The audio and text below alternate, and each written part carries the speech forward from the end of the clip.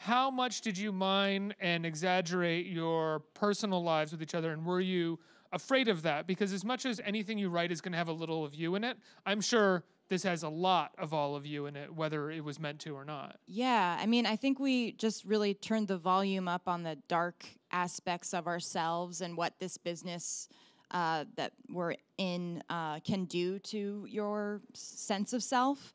Um, and, you know, we became these dark caricatures. And then it wasn't really until after when you know, the movie got into Sundance was the first thing, and that was like, oh, you know, people are actually going to see this, and and Think having that question. Yeah, I didn't really think about it until after because that's just how my, I'm just kind of a dull bulb.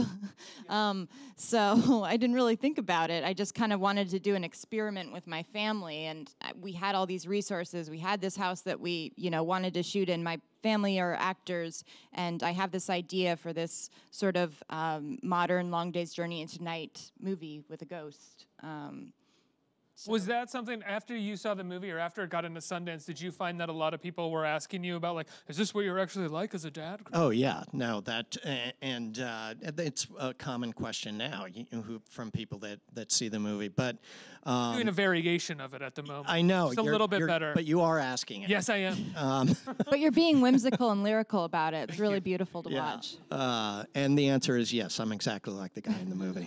Um, no, like Bridey said, I think we're just we tuned up the the sort of negative aspects of ourselves, um, and like I was saying in the green room, Paula's character is very different than Paula. I, I think our characters are kind of these exaggerated versions of us, but but Paula is the only one in the movie acting. The rest of us are just kind of Showboating. hams. showboating hams. Yes, exactly.